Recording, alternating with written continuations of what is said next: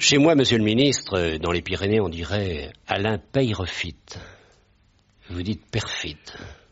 Eh bien, euh, chez moi aussi, puisque je suis originaire des Pyrénées, ce n'est pas un hasard si on prononce ainsi le nom dans vos Pyrénées, puisque les origines de ma famille sont pyrénéennes. Je suis un Occitan comme vous.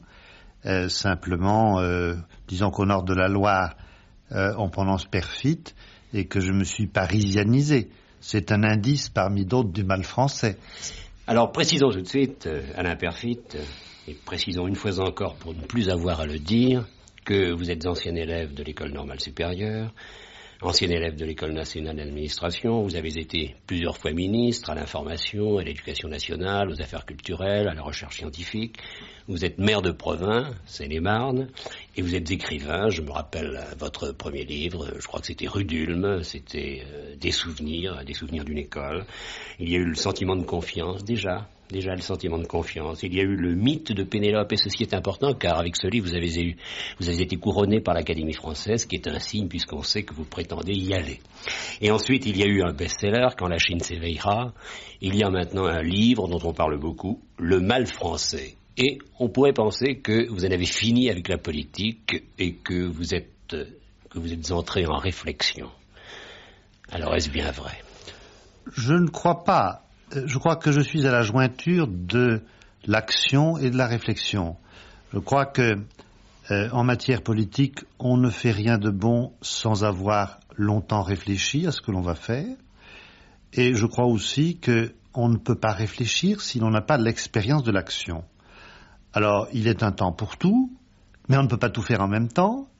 Et par conséquent, en tout cas moi, je ne peux pas tout faire en même temps. Et par conséquent, après de longues années consacrées à l'action, j'ai préféré prendre un temps de réflexion pour essayer de euh, reprendre, de résumer euh, les résultats de cette expérience vécue et pour en tirer les conclusions. Avez-vous l'impression d'avoir perdu du temps pendant toutes ces années? On ne perd jamais son temps quand on vit intensément ce qu'on fait et j'ai appris infiniment de choses. Par exemple, je raconte dans mon bouquin que en 1958, quand pour la première fois j'ai été élu, euh, j'ai littéralement découvert la société française. Car euh, ce qu'on m'avait appris dans les grandes écoles, euh, ce que j'avais appris dans la haute administration française, n'avait rien de commun avec cette réalité quotidienne que la vie d'un élu m'a permis de découvrir. C'est donc déjà une dénonciation, c'est donc déjà une contestation. Vous refusez les grandes écoles et vous refusez un peu ce que vous avez été au poste où vous étiez. Je ne dis pas que je les refuse, je dis que je les dépasse. Je crois qu'il ne faut pas en rester là. Je crois que ce qu'il y a euh, de bon euh, dans euh, le système des grandes écoles, c'est qu'il permet euh, d'opérer une certaine sélection, de chauffer à blanc des esprits, mais ce qu'il y a de mauvais, ce qu'il y a de grave, c'est d'en rester là. C'est que l'homme qui sort d'une grande école a une vie qui est en quelque sorte programmée comme par un ordinateur, et euh, s'il ne se déroule rien, normalement jusqu'à la fin de sa vie, il sait très bien euh, comment les choses se passeront. S'il n'y a pas une rupture dans euh, la courbe, s'il n'y a pas une rupture dans cette vie programmée, on sait une fois pour toutes, quand on sort de Polytechnique ou de l'ENA euh, ou de Normal ou d'autre chose, on sait ce qu'on fera jusqu'à sa retraite. Eh bien, ce n'est pas normal, ce n'est pas souhaitable. Il faut euh, que l'on permette d'abord à ceux qui n'ont pas fait les grandes écoles de pouvoir faire ce qui est réservé chez nous aux grandes écoles. Et il faut aussi que l'homme soit sans cesse obligé de se remettre lui-même en cause, de se retrouver en face de lui-même, et euh, notre système est à cet égard beaucoup trop rigide. On a l'impression, à l'imperfide, que vous avez fait vôtre de grandes maximes comme celle-ci. Le pouvoir, c'est l'impuissance. Le bonheur, ce ne sont pas toujours les autres. Il faut commencer par soi-même. Et en lisant le, Mal français, qui est un livre important, j'ai l'impression d'assister à une descente euh, à l'intérieur de la galerie Perfite, et l'alpiniste s'appellerait également Perfite. Donc c'est une reconnaissance de vous-même. Oui, dans un certain sens, c'est une reconnaissance de moi-même. Ce que j'ai essayé dans ce livre, c'est d'entremêler, de, tresser les expériences personnelles et la réflexion sur la société française. Et les expériences personnelles, inévitablement, euh, c'est un peu de moi-même que j'ai livré ainsi. Et, notamment euh, une expérience étendue sur 30 ans de vie euh, publique. Vous avez pris des notes pendant ces 30 années? Ah, j'ai la manie d'avoir toujours sur moi un carnet, de prendre toujours sur moi des notes de ce que je vis, d'essentiel.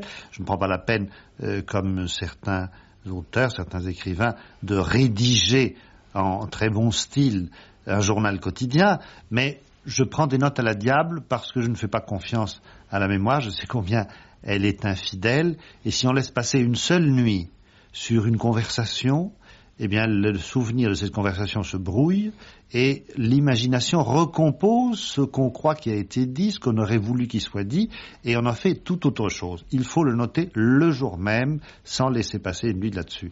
C'est ainsi que j'ai fait avec euh, le général de Gaulle, avec Georges Pompidou, et avec quelques-uns des protagonistes de ce livre. À la perfite, euh, vous prenez des notes, j'imagine que vous avez le souvenir de tout ce qui a été fait, de tout ce que vous avez vu, de tout ce que vous avez retenu, mais euh, vous êtes euh, ministre et vous l'êtes jusqu'au bout de votre vie, vous êtes diplomate, alors je me demande si vous avez le droit de raconter ce qui vous a été dit parfois, c'est-à-dire si vous n'êtes pas conduit en certains moments à une euh, sorte de discrétion. Par exemple, vous racontez que l'ambassadeur soviétique euh, était venu vous voir pour vous dire nous souhaitons, notre pays souhaite euh, la victoire de votre candidat. Votre candidat, c'était Chaban-Delmas à l'époque des, élections présidentielles. Avez-vous le droit, seulement deux ans après, de le raconter? Sur, sur le plan de l'éthique personnelle, parce que vous avez tous les droits.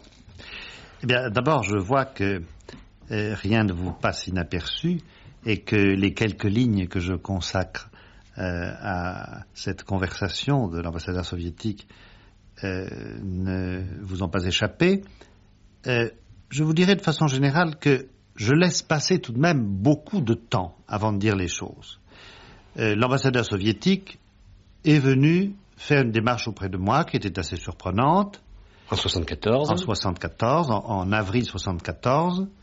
Je n'en ai rien dit, sinon à l'intéressé, euh, celui à qui j'étais chargé de transmettre le message. Je n'en ai rien dit pendant près de trois ans. J'ai gardé ça tout à fait pour moi.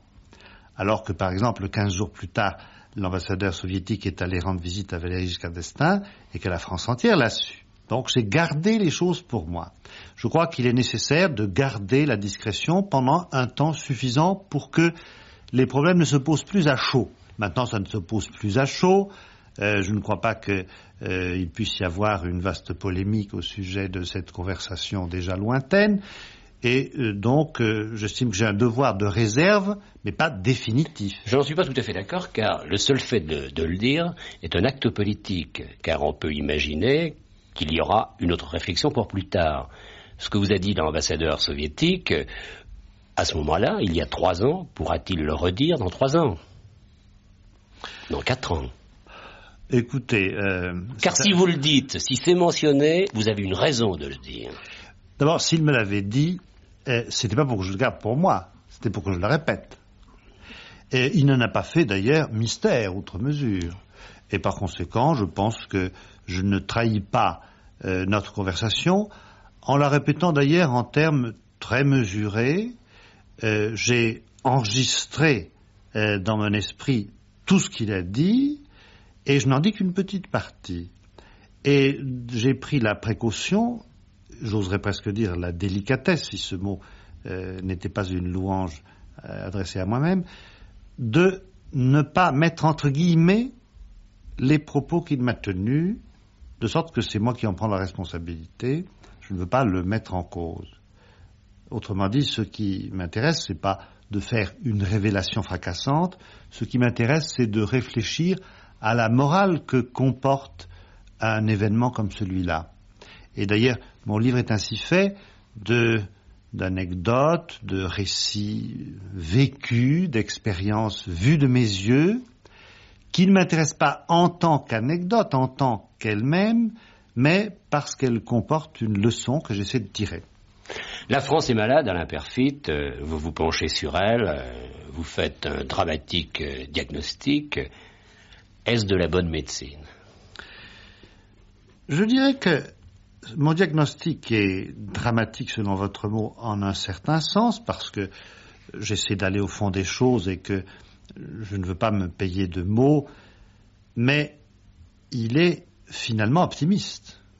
Il commence par finalement, le oui. Il est finalement optimiste. Il commence par le pessimisme parce que je crois, euh, comme d'ailleurs euh, Bernanos que je cite en exergue de mon livre, je crois que ce n'est pas rendre service à la France que de répéter à tort et à travers qu'elle se porte bien, qu'elle ne s'est jamais mieux portée, que tout est pour le mieux dans le meilleur des mondes, que tout va bien, etc. Il n'y a rien qui exaspère autant les Français que ça. Ils ne le croient pas, ils voient bien que ce n'est pas le cas. Et par conséquent, l'optimisme affiché officiellement euh, leur fait froid dans le dos. Mais euh, je crois que euh, la lucidité pessimiste doit déboucher sur l'action. C'est à force de voir les choses en face, de ne pas nous cacher la tête sous l'aile ou dans le sable comme font les autruches, que nous pouvons débusquer les vraies difficultés, les vrais maux. C'est ce que j'essaie de faire et je le fais dans une visée tout à fait euh, active, c'est pour faire quelque chose, c'est pour déboucher sur une action, et ce n'est pas pour le plaisir morose et masochiste de dire que ça ne va pas. Alors pourquoi ce témoignage, pourquoi ce bilan? Y avait-il nécessité, y avait, y avait-il urgence?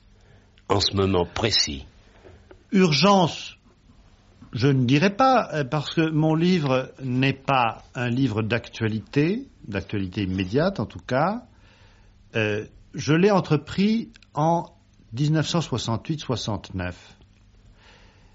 J'avais à ce moment-là commencé une, non pas une retraite comme celle à laquelle je me livre depuis deux ans et demi, mais disons une semi-retraite. Euh, j'étais président de la commission des affaires culturelles et sociales de l'Assemblée nationale, mais je n'avais pas d'activité à la tête du gouvernement.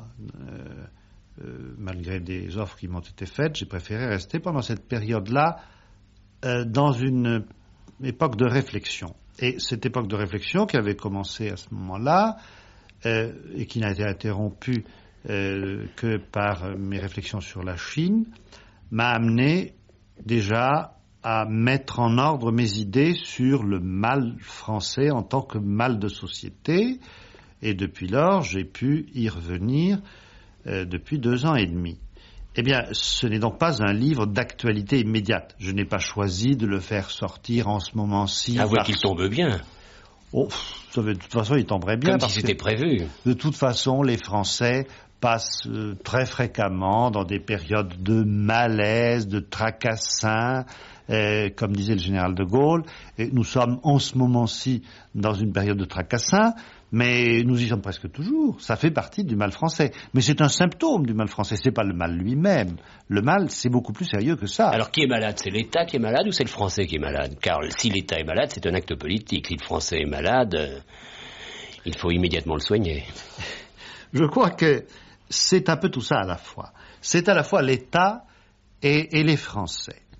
Euh, pendant longtemps, nous avons cru que le mal français, c'était le mal d'État. Alors, nous pensions, et d'innombrables observateurs pensaient, sous nos anciennes républiques, notamment sous la Troisième et sous la Quatrième République, que le mal français, ce qu'on aurait pu appeler le mal français, c'était l'instabilité gouvernementale. Et autrefois, avant la Révolution, on pensait que le mal français, c'était le despotisme de l'ancienne monarchie. Mais ce n'était qu'un aspect des choses. Ça, c'était le mal d'État. Eh bien, je crois que la réussite du général de Gaulle aura été d'avoir délivré les Français de ce mal d'État euh, en résolvant, au moins pour un temps, le problème de l'instabilité.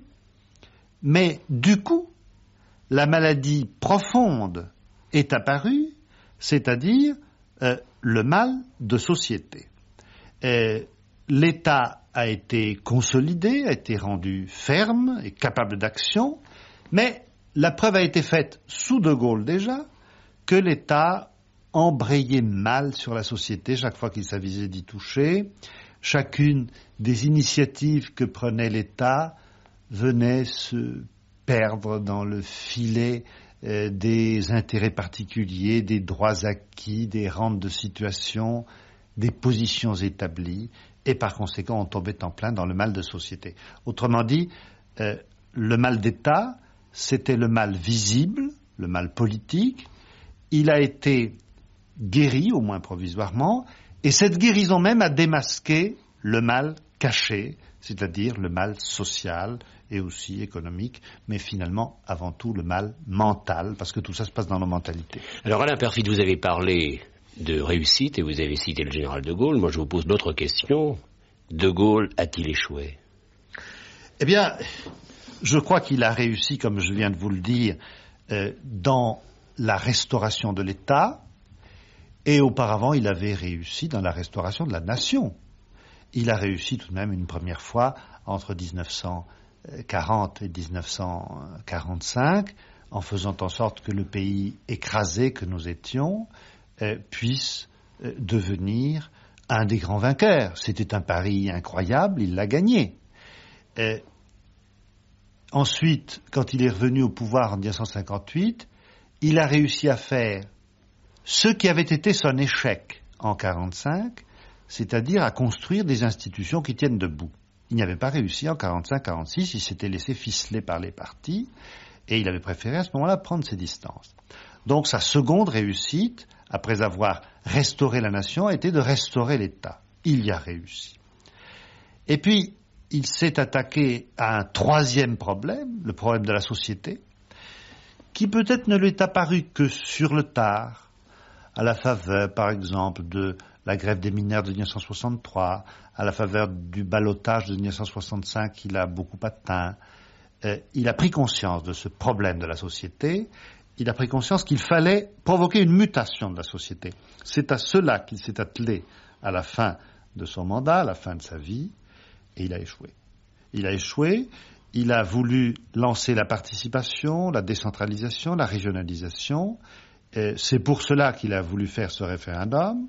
Ce n'est pas du tout euh, un référendum suicidaire, contrairement à ce que disait André Malraux, et je le rappelle dans un des chapitres de mon livre par une conversation euh, que j'ai eue avec André Malraux à Verrières. Je ne crois pas du tout que le général de Gaulle ait voulu se faire mettre à la porte par les Français. Je crois qu'il voulait vraiment résoudre un problème un problème qu'il n'avait pas eu jusque-là le temps, la possibilité de régler et qui lui restait à régler. Mais il n'a pas pu le faire et c'est en quelque sorte son testament. C'est à nous de faire ce qu'il n'a pas pu faire.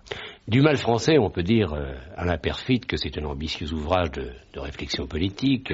Le mal français, déjà, c'est un titre qui pourra paraître, qui peut paraître et qui paraît suspect à nos gouvernants. Le mal français. C'est terrible de dire à un président de la République, à un Premier ministre, le mal français, aujourd'hui, et que ce soit un ministre du général de Gaulle qui le dise, un ministre qui s'est mis en réflexion, qui est entré en réflexion. Vous avez parlé de retraite, je ne pense pas que vous puissiez être en retraite, vous n'êtes pas un homme de retraite. Je suis un homme d'interrogation. Et quand on agit, on n'a plus le temps de s'interroger. Quand on est chargé, par exemple, de, je sais pas moi, de mener une formation politique à un combat électoral, comme ça a été le cas pour moi en 1973, pour les dernières élections législatives, ben, on n'a pas le temps de faire de la philosophie, de se poser des questions de fond. Il faut y aller, il faut foncer, euh, il faut donc euh, frapper l'adversaire. Euh, c'est ça l'action. L'action ne permet pas la réflexion. Quel est votre adversaire aujourd'hui? Je n'en ai pas. Je n'en ai aucun. Je voudrais justement arriver à une grande sérénité et dire des choses qui soient acceptable ou également inacceptable par tous les Français. Et si une chose m'a fait plaisir, par exemple, c'est dans le, dans le point de cette semaine, euh, Georges Suffert euh, qui dit que c'est le premier livre de gauche qui est paru depuis la fin de la guerre ou quelque chose comme ça. Euh, ça m'a un peu amusé parce que je trouve que ces notions de gauche et de droite n'ont plus aucun sens. Mais ce à quoi je voudrais arriver, c'est à une sorte de vision sereine des choses qui puisse être acceptée par les uns et par les autres, qui puisse contribuer à déclencher un consensus national, euh, ce qui nous est si difficile à nous autres Français, et par conséquent qui surmonte les clivages entre partis, entre formations politiques, qui me paraissent tout à fait périmés parce que ça veut dire qu'on s'enferme euh, dans des données toutes faites, dans des dogmes, dans des slogans. Ce n'est pas comme ça qu'on peut progresser. Mais peut-être avez-vous avez réussi alors, parce que par ces temps de réflexion, on ne sait plus si vous êtes à droite ou à gauche. Mais c'est ce que je voudrais. Je souhaiterais n'être situé ni à droite ni à gauche. Je crois que ces notions sont périmées. Ce sont des notions du XVIIIe siècle. Ça date un peu. Vous parlez au passé alors maintenant. Vous étiez à l'UDR, mais vous n'êtes plus à personne. Euh, j'étais à l'UDR et je n'y suis plus, euh, d'autant plus qu'elle n'existe plus. Oui, mais euh, quelque chose l'a remplacé. Eh bien, je réserve l'avenir. Je n'ai que des amis dans le R, comment l'appelez-vous là? RPR. RPR. je n'ai que des amis au RPR. mais je n'ai pas assisté à la réunion de, du dimanche passé parce que je suis dans cette période où j'ai préféré me tenir à l'écart de la vie politique active. Et ce que je souhaite, c'est que les éléments de réflexion que j'apporte puissent s'intégrer dans une sorte de débat, un débat national auquel chacun pourrait contribuer, euh, sans que les passions partisanes puissent interférer là-dessus et finalement euh, gâcher la réflexion. Alain Perfit, pourquoi faites-vous des références si fréquentes au passé? Pourquoi cette obsession de l'histoire? Eh bien parce que j'ai la conviction profonde que la meilleure manière de se débarrasser des pesanteurs du passé, c'est de bien voir le passé en face. Euh, pour regarder l'actualité au fond des yeux, il faut regarder le passé au fond des yeux. Euh, c'est une naïveté des adolescents ou des révolutionnaires romantiques que de s'imaginer que tout est possible, que euh, on peut euh, faire table rase du passé, ce n'est pas vrai. Notre présent est commandé par notre passé. Une société est le produit de son propre passé, jusque dans ses velléités de rompre avec ce passé. Le 14 juillet 1989 était une volonté de rompre avec le passé, mais c'était une journée bien française. Vous avez dit 1989 17, C'est un lapsus révélateur. le 14 juillet 89, disons, 100 siècles, était, était bien français, c'était une journée bien de chez nous, bien conforme. Comme l'octobre russe. Comme l'octobre russe était bien russe, comme la révolution culturelle était, était bien chinoise. Je crois qu'il y a une sorte de tempérament national, il y a une sorte de, de matrice nationale qui reproduit tout le temps des attitudes, des comportements collectifs qui se ressemblent les uns aux autres. Alors, de même que la seule façon de dominer la nature est d'en connaître les lois, de même je crois que la seule façon de dominer le passé, c'est de le comprendre, de le voir tel qu'il est et, comprendre le passé, c'est se comprendre soi-même. Alors vous voilà explorateur, vous allez au plus profond et vous êtes dans, la bonne trace du mal, c'est le mal français, mais l'itinéraire, celui que vous dessinez, c'est tout de même un itinéraire très personnel et on en juge, on peut en juger dans, les premiers chapitres. On pourrait se demander, poser la question, pourquoi le rappel de ces trois conversations? Et il y a trois conversations et on comprendra vite, et vous allez nous le dire, qu'elles sont importantes. La première, c'est avec Albert Schweitzer, Alain Baréné, la deuxième euh, avec un, ministre allemand, von Haas, je crois, sur, sur le Rhin, et la troisième avec un ingénieur sur une plateforme de forage quelque part. Alors ce que vous, avez, ce que vous a dit Albert Schweitzer est d'importance. Euh, j'ai pris ces conversations comme exemple. Euh, elles viennent en tête du livre, comme si elles étaient un guide elles viennent en tête de livre parce qu'elles m'ont paru particulièrement significatives. Elles m'ont frappé sur le moment et je trouve qu'elles étaient significatives. Albert Schweitzer, en quelque sorte, me disait ceci. Euh, les Français sont dogmatiques. Les Français euh, sont euh, attachés à leurs idées abstraites et ils ne veulent pas en sortir. Et il me disait aussi, les Français ont des dons mais ne savent pas les utiliser. Eh bien, je pense que ce propos allait loin. Peut-être qu'il était un peu amer, peut-être qu'il gardait le souvenir de son emprisonnement pendant la Première Guerre, parce qu'il était euh, alsacien d'origine et qu'à ce moment-là, il avait été considéré par l'administration coloniale comme étant citoyen allemand. Peut-être que de ce fait, il nous en voulait un peu. Mais enfin, il parlait comme souvent parlent nos amis étrangers en parlant de nous, ils nous voyaient, je crois, tels que nous sommes. Mais il y a plus grave encore, parce que vous lui faisiez observer qu'il n'y avait, il n'y avait pas de médecin français, pas d'infirmière française, pas de corps français. Il y avait des Allemands, des Anglais, ils vous répondaient, les Français c'est bien normal, dès qu'ils sont en groupe, ils complotent. Donc je n'en veux pas. C'est vrai. C'est vrai, il avait éliminé les Français parce qu'il n'avait eu que des ennuis avec eux. Euh, et il avait au contraire euh, toute confiance dans les Allemands, les Autrichiens, euh, les Hollandais, les Anglais, les Américains dont il s'entourait, car il disait ceux-là sont vertrauenswürdig, dignes de confiance. On peut s'appuyer sur eux, on peut compter sur eux. Tandis que les Français, dès qu'ils sont ensemble, c'est comme du bon vin dans une mauvaise barrique qui se met à s'aigrir. Eh bien, je crois qu'il y a là quelque chose qui était peut-être un peu excessif, mais qui correspond à une certaine vérité. Les Français, pris à part, sont des types épatants. En groupe Et en groupe, ils se mettent à, comploter, comme il disait, et, bien souvent à donner l'exemple de, de, la division, de la contestation négative. Mais vous dites également qu'ils sont obéissants, et vous estimez que c'est un défaut, l'obéissance. C'est-à-dire qu'ils ont été entraînés par leur longue histoire à l'obéissance. Nous avons été dressés par les siècles à une longue obéissance. Et cette obéissance s'expliquait, se justifiait à une époque où il fallait bien obéir parce que les urgences étaient telles qu'on ne pouvait répondre aux urgences qu'en obéissant. La première de ces urgences, c'était la guerre. Et au fond, depuis le XVIe siècle, même depuis le XVe, notre pays a toujours été en guerre, ou en train de préparer une guerre, ou en train de sortir d'une guerre. Et par conséquent, c'est un régime militaire qui s'était imposé à la tête de la France. Donc, il était naturel, dans ces époques de danger collectif, que soit imposée à notre pays une soumission, faute de laquelle il n'aurait probablement pas pu faire face aux dangers qu'il menaçait. Mais Aujourd'hui qu'il n'y a plus de guerre en vue, aujourd'hui que pour la première fois depuis des siècles, nous n'avons plus d'ennemis, nous n'avons plus de territoire à reconquérir, nous n'avons plus de guerre coloniale en vue. Il n'y a pas de peste, il n'y a pas de lèpre. Il n'y a pas de peste, il n'y a pas de lèpre, nous ne sommes pas sous la menace du danger.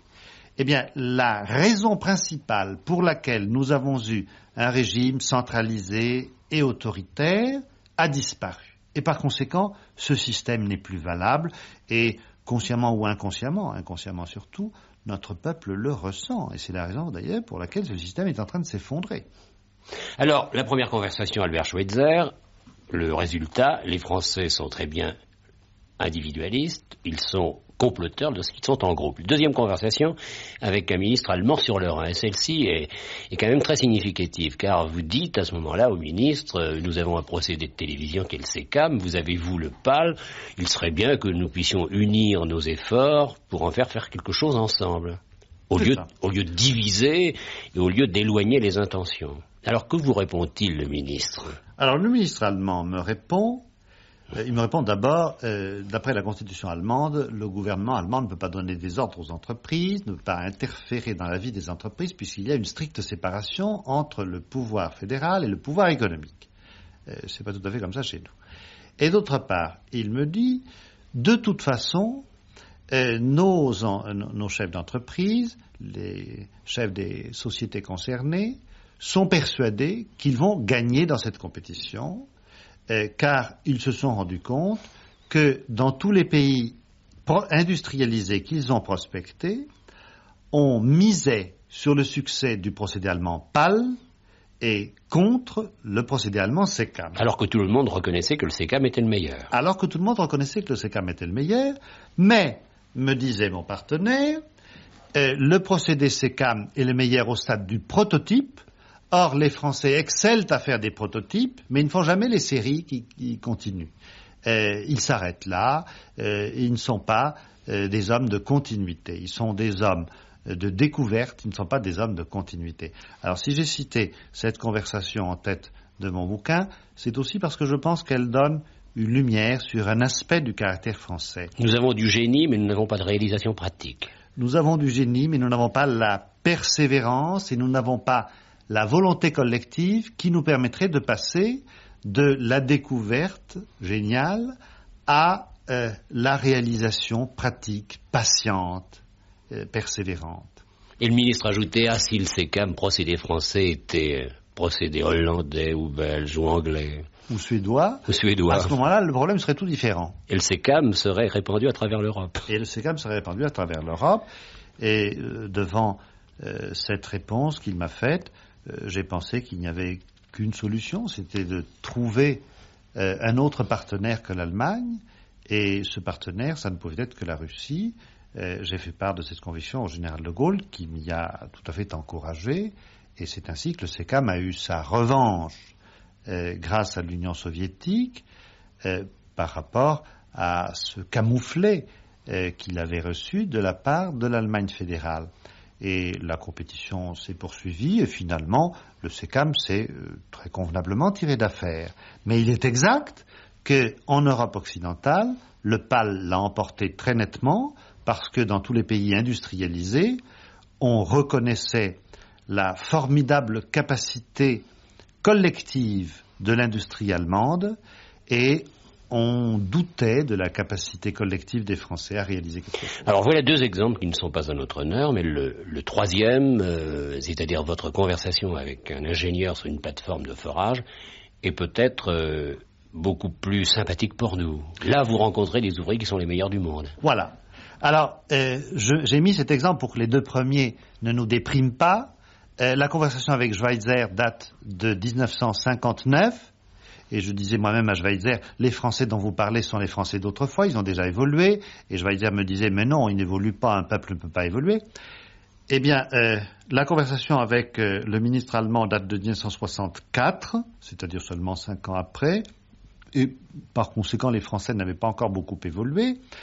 Mais la dernière conversation que je cite sur cette plateforme de forage euh, près des îles Shetland date de 1975 et là, l'ingénieur euh, qui avait sous ses ordres des techniciens français, mais aussi des techniciens américains, anglais, allemands, suédois, etc., me dit les Français sont les meilleurs. Et il me montre pourquoi. Eh bien, euh, je crois que cette conversation est le complément utile des autres.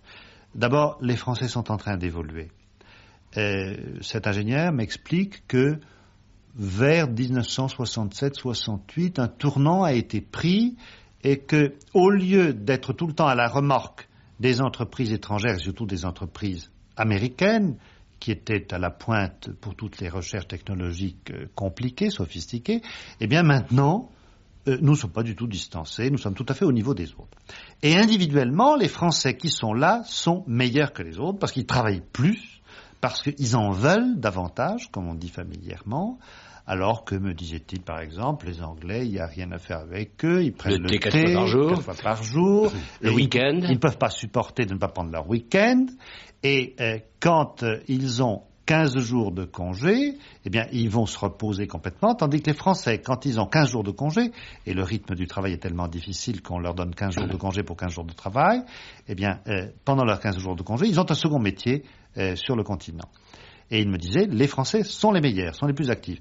Et je crois que ce diagnostic n'était pas un diagnostic euh, chauvin, c'était la réalité. Mais il ajoutait, ils ne sont devenus ainsi que grâce à la présence des autres, parce que les autres sont en compétition avec eux et que leur amour propre national est mis en cause.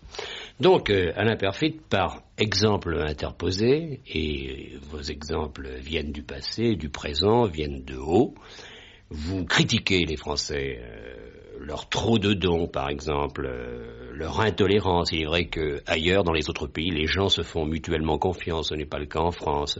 Euh, vous reprenez un peu la phrase du général de Gaulle on peut rêver d'une France sans les Français. le pouvoir, c'est l'impuissance. Mais vous, après une étude comme celle-là, vous, Alain Perfit, comment jugez-vous les Français? Et, et c'était quand même très significatif parce que vous êtes invité partout en ce moment, à la radio, à la télévision. On parle de votre livre dans tous les journaux. Alors, on en parle parce que vous êtes à l'imperfite ou parce que, justement, vous avez stigmatisé? Peut-être qu'on en parle un peu parce que j'ai stigmatisé. Peut-être que les Français ont un peu. Euh, ils aiment à se faire peur. Un masochisme. Peut-être qu'ils ils aiment se faire peur. Je pense surtout qu'ils Ils ont le goût de la vérité, surtout. Ils ont le goût de la vérité. Et finalement, on n'a jamais tort quand on dit aux Français qu'on leur fait confiance et que ils doivent prendre sur eux-mêmes, ils doivent faire effort sur eux-mêmes. Je crois qu'on a toujours tort de cacher aux Français la vérité, on a toujours tort euh, de les prendre pour des enfants ou pour des élèves de collège. Faut tout leur dire. Euh, auxquels il faut tout dire, euh, auxquels, auxquels il, faut cacher la vérité. Mhm. Je crois qu'en réalité, on ne peut les aider à aller de l'avant qu'à condition de ne rien leur masquer et de les prendre pour des adultes, ceux qu'ils sont devenus et ceux qu'ils deviennent de plus en plus. Alors, euh, je crois qu'ils ont suffisamment euh, d'appétit de la vérité euh, pour entendre des choses, même désagréables. Que pensez-vous de, la réflexion de Georges Pompidou? L'instinct de conservation est une preuve de santé Car vous êtes le contraire d'un conservateur en ce moment. Eh bien, écoutez, je crois que Georges Pompidou avait de grandes qualités. Il avait une grande solidité, il a eu peut-être pour effet d'immobiliser un peu le mouvement de la réforme en France, euh, mais il avait un grand amour du pays, euh, un grand amour de l'État, de la nation, et je crois que s'il n'avait pas été malade à la fin de sa vie, euh, on aurait pensé que son passage à la tête de l'État aurait été un grand septennat. Cela dit, il n'était pas favorable à des réformes rapides et nombreuses. Il était très sceptique devant les réformes qu'on lui proposait. Et je raconte dans ce livre une conversation euh, qui était en réalité un monologue, puisque euh, je n'étais là que comme faire valoir pour l'amener à dire le fond de sa pensée. Un monologue extraordinaire dans lequel, 15 jours après le célèbre discours de Jacques Chaban-Delmas sur la nouvelle société, euh, il me disait pourquoi il ne voulait pas de cette nouvelle société. Il n'en voulait pas parce qu'il pensait que les choses changeaient tellement déjà par elles-mêmes. Euh, la société évoluait à une si grande vitesse qu'il ne fallait pas par-dessus le marché lui apporter des réformes qui allaient la déboussoler. Et par conséquent, il résistait à cette vision de son Premier ministre et il me l'a dit alors avec beaucoup de force. On ne l'a su que beaucoup plus tard. Euh, vous me disiez tout à l'heure que je faisais des révélations euh, prématurées. Il faut en faire. Et vous voyez que je révèle seulement euh, six ou sept ans après euh, une conversation qui a eu lieu en 1969. Eh bien, le président de la République, alors, ne m'avait pas caché qu'il était résolument hostile à cette nouvelle société de Jacques Chaban-Delmas. Par la suite, d'ailleurs, il est revenu là-dessus et à la fin de sa vie, en 1974, il a admis l'idée que cette nouvelle société, c'était une bonne idée pour l'avenir. Enfin, euh, en 1969, il n'avait qu'une idée en tête, c'est qu'il fallait industrialiser la France, il fallait lui permettre de faire un bond en avant dans euh, l'industrialisation et que tout le reste devait passer après. Par conséquent, il refusait toute autre réforme que celle-là. Enfin, soyons tout à fait précis pour ce qui concerne les révélations. Lorsque l'on dit quelque chose, j'imagine que c'est toujours fait pour être répété ou être écrit. Ah, pas toujours. Pas toujours. Il y a des gens euh, qui vous disent des choses avec euh, l'espoir que vous ne les répéterez pas. Et à ce moment-là, on est lié à eux. Euh, je fais quelques révélations sur ce que m'a dit le général de Gaulle, ce que m'a dit Georges Pompidou, ou ce que m'ont dit d'autres acteurs de l'histoire, mais je suis loin de dire tout, j'en garde encore. Et si Dieu me prête vie, dans 10 ou 20 ans, j'aurai encore beaucoup d'autres choses à dire, mais j'estime que le moment n'est pas encore venu. Enfin, vous êtes devenu historien. Je vous demandais tout à l'heure pourquoi cette obsession de l'histoire. C'est parce que vous voulez la, la remodeler. Je crois qu'on ne peut échapper aux fatalités de l'histoire qu'à condition de bien la connaître.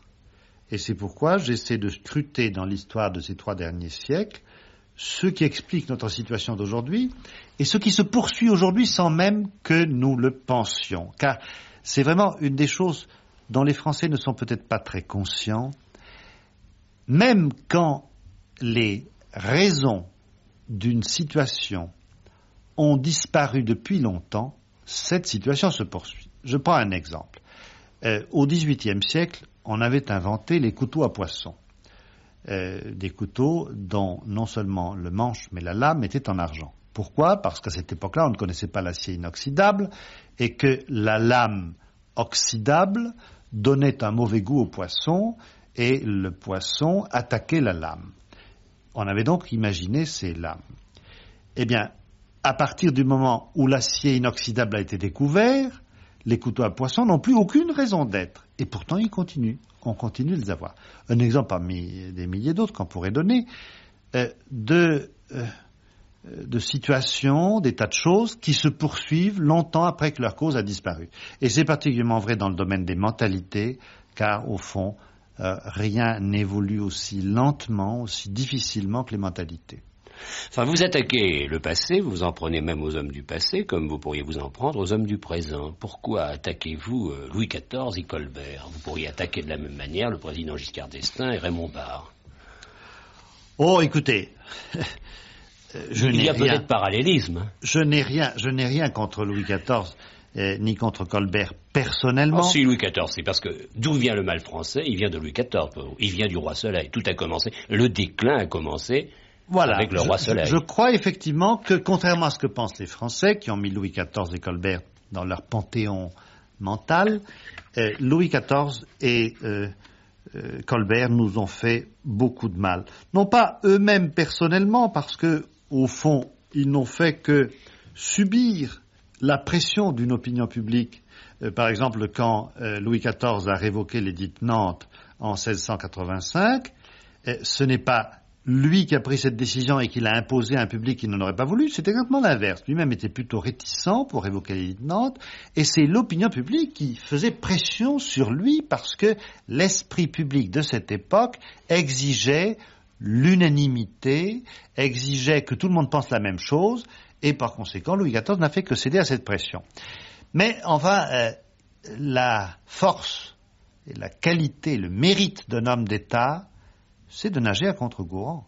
C'est de faire le contraire, quelquefois, de ce que pense l'opinion publique. C'est ce que fait le président Giscard d'Estaing? Ah, écoutez, je préfère ne pas parler de l'actualité immédiate, et vous constaterez que les exemples que je cite s'arrêtent tous en 1974 parce que justement je n'ai pas voulu tomber dans l'actualité immédiate. Oui, mais c'est l'auberge espagnole.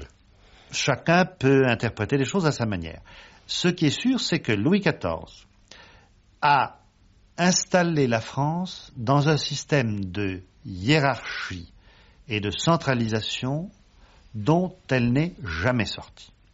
Euh, Richelieu avait déjà inventé les intendants, il gouvernait la France à, travers 30 intendants qui en référaient à lui pour les moindres choses, pour les moindres détails, pour le tracé d'une route ou pour euh, le bris d'une clôture.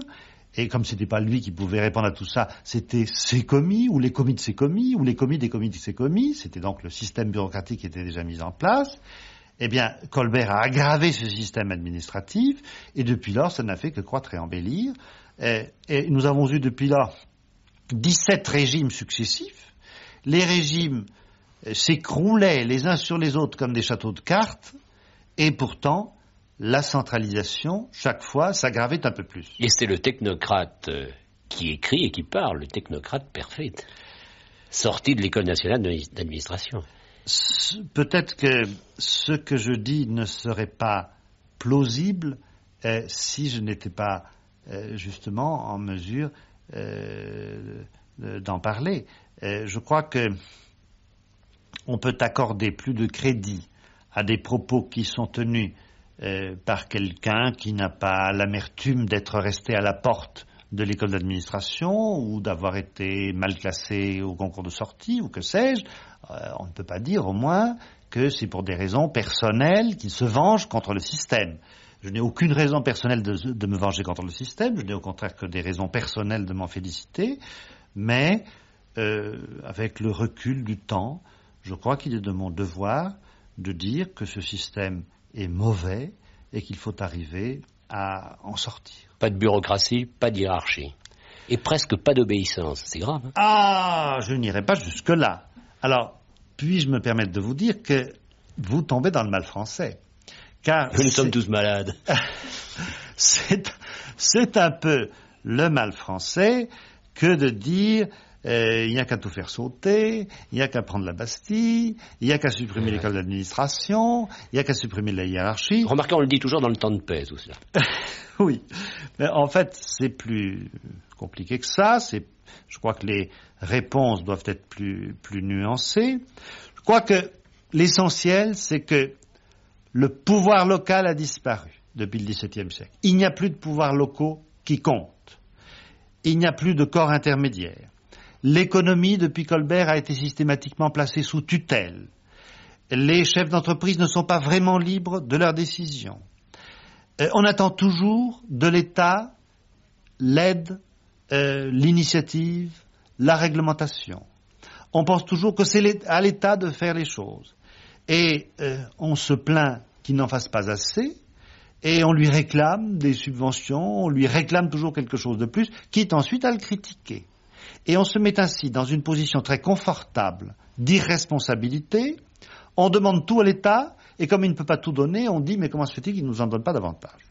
Eh bien, il faut sortir de ce système qui est celui d'une irresponsabilité maladive.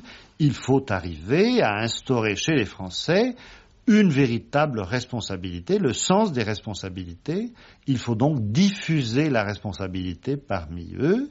C'est, ça a été le dernier rêve du général de Gaulle. Il a échoué, il n'a pas pu réussir. S'il avait eu dix ans de plus devant lui, je suis persuadé qu'il aurait réussi. Qui va réussir mais c'est notre génération. Nous sommes tous héritiers de cette situation. Nous sommes tous héritiers de ce testament, à condition euh, de ne pas faire comme si ça n'existait pas et de ne pas nous cacher une fois de plus, la tête sous l'aile. Mais on peut réussir dans ce XXe siècle? Ah, j'en suis convaincu. Nous avons 25 ans pour ça, et ces 25 ans doivent être utilisés eh, pour donner à notre pays eh, une capacité de décision répandue à travers le pays, diffusée à travers le pays. Je crois que la grande différence entre les pays qui ont connu un grand essor depuis le XVIIe siècle et les pays qui ont stagné, comme les pays latins, tient là. C'est que euh, le développement exige ce que j'appelle le polycentrisme, la multiplicité des centres de décision. Je n'aime pas le mot de pluralisme qu'emploie le président de la République. Polycentrisme, vous, le dites souvent d'ailleurs ce mot. Le, mot de, de, pluralisme me paraît un mot équivoque. Puisque M. Giscard d'Estaing l'emploie et que M. Georges Marchais l'emploie aussi, ça prouve qu'il ne faut pas l'employer puisque visiblement il l'emploie dans un sens différent. Si tous les deux sont d'accord pour dire pluralisme, pluralisme, ça veut dire qu'ils ne mettent pas le même contenu dans ce même mot. Non, je vous promets, on dira polycentrisme. Merci de prendre cet engagement. Polycentrisme, c'est un mot un peu compliqué, mais une fois qu'on l'a compris, il est très simple. Ça veut dire beaucoup de centres de décision. Alors, le pluralisme, vous comprenez, le pluralisme des idées, il y a toujours eu pluralisme des idées. même dans les camps de concentration d'Hitler, il y avait pluralisme, puisque euh, dès, lors qu'il y avait 3000 déportés dans un camp, il y avait 3000 personnes qui pensaient d'une façon différente les uns des autres. il y avait des communistes, il y avait des catholiques, il y avait ceux qui croyaient en Dieu et ceux qui n'y croyaient pas. Il y avait donc pluralisme. Mais ça ne me satisfait pas, ce pluralisme-là. Le pluralisme auquel je crois, le pluralisme fécond, c'est le pluralisme de décision, c'est-à-dire ce que j'appelle le polycentrisme, la capacité répandue parmi les individus parmi les groupes d'être autonomes et de prendre leurs décisions par eux-mêmes. Le mal français, à l'imperfide, vient du, fond des âges, il vient surtout de, Louis XIV, mais il y a euh, l'aujourd'hui de la politique. Je sais bien que pour vous maintenant, euh, vous pensez, euh, vous, qu'il y en a assez du slogan politique, vous l'avez quitté, vous dites que le système présidentiel est nocif, que le chef de l'État doit rester un arbitre, un recours, moins il gouverne, plus il peut présider. Alors, où en sommes-nous? Euh, On parle de majorité présidentielle, vous n'êtes pas de cette majorité présidentielle. Enfin, vous êtes à, vous êtes à la retraite, comme vous le disiez tout à l'heure, vous êtes en réflexion. Euh, attention, je n'ai pas dit que j'étais à la retraite, j'ai dit que j'étais en retraite. Oui. Euh, c'est une expression. Oui, mais la retraite, c'est joli. La retraite, c'est le temps de réflexion que l'on prend quelque part dans une belle abbaye ou dans sa, ou dans, dans sa petite chambre. Voilà, mais j'espère bien en sortir. J'espère bien en sortir, mais je crois que euh, il est un temps pour tout, encore une fois, et que on ne peut réfléchir en profondeur qu'à condition de s'abstraire des passions partisanes du moment et de trouver une certaine sérénité. Vous avez dit que je n'étais pas dans la majorité présidentielle euh, et que j'étais contre le système présidentiel. Permettez-moi de rectifier un petit peu. Euh, je, je suis légitimiste. Je considère qu'une fois que le président est élu, il ne faut rien faire qui puisse le gêner dans son action. je suis résolument décidé à soutenir le président de la République dans toute action nationale euh, qu'il peut entreprendre dans l'intérêt de la nation. Euh, par conséquent, euh, ne m'accusez pas d'être. Ah, je ne vous accuse pas. J'essaie de constater. Je, je, considère que le président ayant été élu, il est le président de tous les Français. Alors, ce que je regrette un peu, c'est que, par la force des choses, de fil en aiguille, le président soit amené à prendre des décisions qui ne sont pas de son niveau, qui ne sont pas de sa dignité, qu'il entre dans toutes sortes de détails qui sont des détails euh, qui devraient être réglés par le chef du gouvernement ou par les ministres ou même à un niveau très inférieur. Je trouve qu'il n'est pas normal que le président de la République ait à intervenir pour choisir si ce seront des tilleuls ou des ormeaux que l'on plantera sur la place des Vosges ce n'est pas à lui d'intervenir pour dire si le péage de l'autoroute de l'Est sera installé à tel kilomètre ou à tel autre. Ce n'est pas son rôle. Il est l'homme de la nation, il est le président de tous les Français, par conséquent, il doit s'élever au-dessus de ses problèmes quotidiens, il doit laisser au gouvernement ou aux pouvoirs locaux, et le plus souvent possible aux pouvoirs locaux, la possibilité de prendre ses décisions. Et euh, quand vous dites que je suis contre le système présidentiel, euh, je rectifie en disant je suis contre la présidentialisation qui consiste à tout faire trancher par le président. Et euh, cette présidentialisation, chez nous, se réclame abusivement du précédent américain. Or, aux États-Unis, le président ne s'occupe pas des détails, le président ne s'occupe pas de la vie quotidienne, car les États-Unis sont une fédération sont un pays extrêmement décentralisé. Il y a 50 États qui sont souverains dans les domaines de leurs compétences.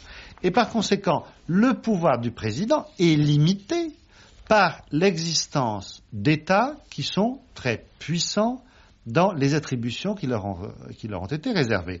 Alors ce que je souhaite, c'est que le président se cantonne dans ce qu'on pourrait appeler un domaine réservé, qui est le domaine des intérêts supérieurs de la nation. Alors moi je voudrais savoir, à la perfide, ce que vous pensez de ceux qui ont élu le président de la République et qui maintenant font son procès. Non, en deux mots. Eh bien, je m'abstiens de faire le procès du président de la République. Et de ceux qui lui font le procès. Et je considère que il n'est pas souhaitable que on empêche le président de la République d'exercer son pouvoir. Peut-être est-il souhaitable de lutter contre une certaine déviation du régime qui tente à donner au président de la République des pouvoirs euh, immensément étendus euh, qu'il ne devrait pas avoir.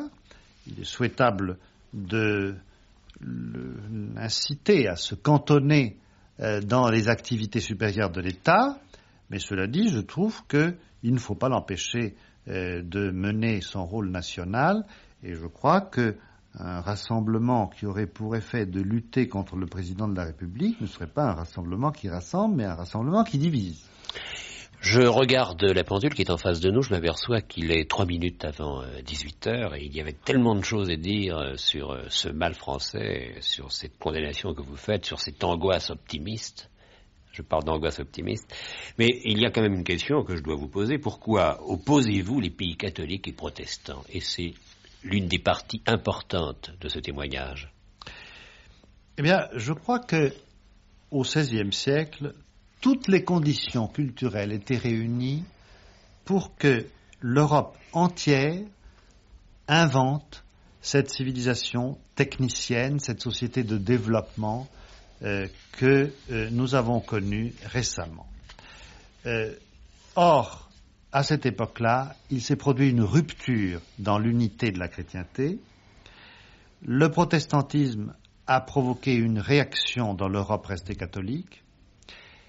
Euh, l'aspect hiérarchique, l'aspect inhibiteur du système ecclésiastique romain s'est accentué euh, dans les pays latins et ont accentué le principe d'obéissance et par conséquent ont frappé dans leur vitalité les pays latins et accessoirement la France. Et au contraire, dans les pays protestants, s'est développée à ce moment-là une capacité d'essor, une capacité d'autonomie, une capacité d'invention et d'innovation. Alors je crois que tout ça, ce n'est pas la théologie protestante ou la théologie catholique qui était en cause, c'est le fait que la centralisation s'est accentuée dans les pays latins et qu'au contraire, il y a eu dans les pays euh, protestants ce que j'appelle le polycentrisme, c'est-à-dire la multiplicité des innovations, la multiplicité des initiatives et la responsabilité.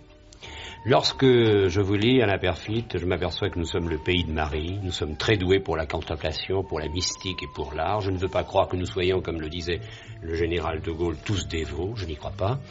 Il y a, et vous en parlez, l'obsession égalitaire, c'est-à-dire tout le monde peut être à égalité au départ d'une course, mais il serait idiot que dans la course on puisse s'enchaîner les uns les autres, on la retarderait. Inégalité des esprits, c'est vrai? Oui, je crois que l'égalité euh, est nécessaire au niveau de l'égalité de droit, de l'égalité de chance, mais il ne faut pas que l'égalité nous empêche de laisser se développer les virtualités de chacun. Et il ne faut pas empêcher la grande force de l'histoire qui est l'instinct de dépassement. Se dépasser les uns les autres, se dépasser soi-même, aller plus loin. Vous avez emprunté à Paul Valéry, aucune nation n'aime à considérer ses malheurs comme, comme des enfants légitimes. Mais il y a une dernière question très très rapide Qu'appelez-vous la guerre franco-française? Eh bien, c'est cette manie que nous avons de nous disputer, c'est cette manie de la division, euh, c'est ce goût de l'anarchie et de l'hostilité d'une partie de la France contre une autre partie. C'est cette tradition des deux France qui se retrouve depuis le XVIe siècle chez nous, toujours depuis les guerres de religion. Et il ne faut pas croire que ça remonte seulement aux dernières élections présidentielles. C'est une tradition chez nous. Il faut savoir lutter contre cette tradition. Et pour pouvoir la vaincre, il faut d'abord la connaître. Alain Perfit, vous avez remodelé les institutions et les hommes. Peut-être de la même manière avez-vous remodelé Alain Perfit, ou peut-être l'Académie française le fera-t-elle bientôt. Je vous remercie Alain Perfit. Je rappelle le titre de votre livre qui paraît chez Plomb, Le mal français, et c'est un livre qu'il faut avoir lu. Merci Alain Perfit. Demain, un autre rendez-vous. Demain, Charles Chenevier, directeur adjoint à la Sûreté nationale, et nous parlerons des grandes affaires criminelles. À demain, bonsoir.